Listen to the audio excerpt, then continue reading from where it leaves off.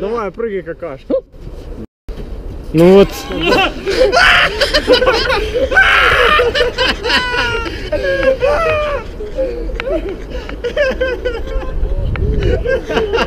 Это мощно, это, сила реально.